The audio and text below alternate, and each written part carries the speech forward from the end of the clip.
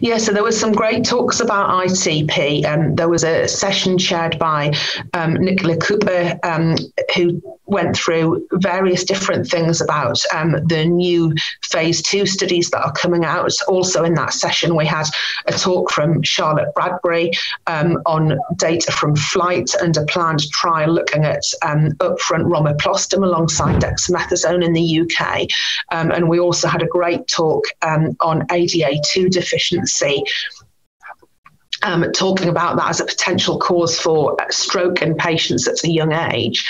Um, so, specifically thinking about ITP, I think my take home messages were that there's a real explosion of new drugs looking at different immunosuppression, and we should get data through on them, you know, over the next few years in terms of what are the treatment lines we have available for second line and beyond.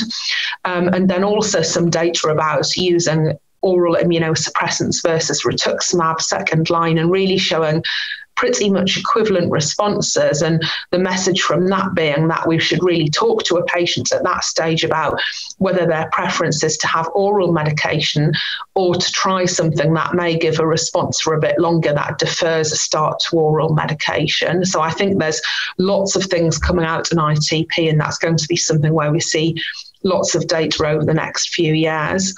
Um, there was also a HaemSTAR meeting um, within BSH, and HaemSTAR are supporting studies in various different aspects of um, non malignant hematology, including looking at ITP rates after the COVID vaccine. So there's also going to be a lot coming out from all of these areas from that group.